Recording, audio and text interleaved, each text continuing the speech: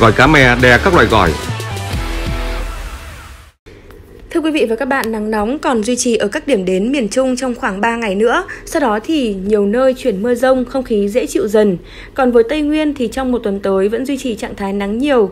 Về chiều tối xảy ra mưa rông ở một vài nơi. Ngay ngày hôm nay thì diễn biến nóng ở vùng miền Trung sẽ được dọc từ Thanh Hóa trở xuống đến Phú Yên với nhiệt độ cao nhất từ 36 đến 39 độ và thậm chí là có nơi còn trên 40 độ. Bầu không khí nóng đến hầm hập lại kết hợp với độ ẩm thấp chỉ còn từ 30 cho tới 55%.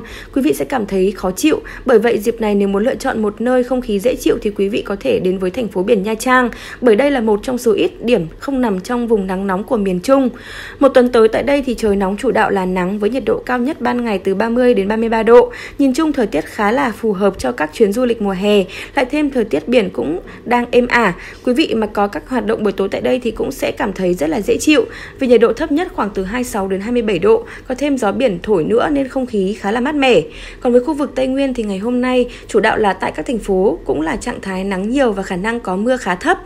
Cái nắng vùng cao khá là gay gắt, kết hợp với nhiệt độ cao nhất khoảng từ 31 đến 33 độ. Tại các thành phố như Con Tum, Buôn Ma Thuột, Gia Nghĩa, quý vị sẽ cảm thấy nóng rõ. Còn tại Đà Lạt và Pleiku, nhiệt độ cao nhất từ 27 đến 30 độ. Thời điểm này đến với Đà Lạt thì sẽ là thời tiết nắng nhiều, xuất hiện liên tục trong 8 đến 9 tiếng mỗi ngày. Bởi vậy trong hành trang đến đây thì quý vị sẽ không thể thiếu các trang phục cũng như là đồ chống nắng.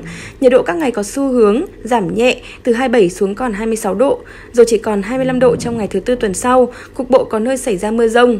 Còn với các điểm đến ở Nam Bộ như là thành phố Hồ Chí Minh trong một tuần tới thì trời vẫn khá nóng, nhiệt độ các ngày dao động từ 34 đến 35 độ, khả năng là mưa có thể gia tăng về chiều tối của nhiều ngày. Quý vị lưu ý là sau một ngày nắng nóng thì mưa xuất hiện sẽ thường kèm theo các hiện tượng như là rông lốc, sấm sét hay là gió giật mạnh nguy hiểm.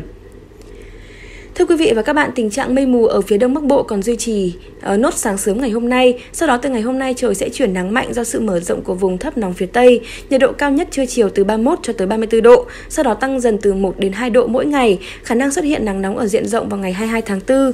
Ở phía tây bắc bộ do nằm gần vùng áp thấp phía tây nên trời nắng gắt từ sớm và duy trì nắng nóng trên diện rộng với nhiệt độ cao nhất ngày phổ biến từ 35 đến 38 độ, có nơi cục bộ còn vượt ngưỡng 40 độ. Cường độ nắng nóng đặc biệt gay gắt.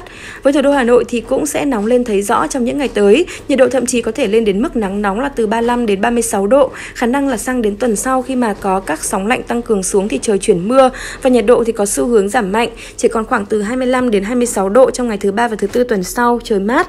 Theo Trung tâm Dự báo Khí tượng Thủy văn Quốc gia, từ ngày 23 đến ngày 24 tháng 4 sẽ có một đợt không khí lạnh về gây mưa ở miền Bắc và miền Trung. Đây có thể là đợt không khí lạnh cuối cùng về Việt Nam trong năm nay. Dịp này vào cuối tuần, chiều sẽ có những à, dịp này vào các buổi chiều sẽ có những cơn mưa rông cục cục bộ ở khu vực phía Tây các tỉnh Nam Trung Bộ, các tỉnh Tây Nguyên, Đông Nam Bộ và phạm vi hẹp ở Tây Nam Bộ.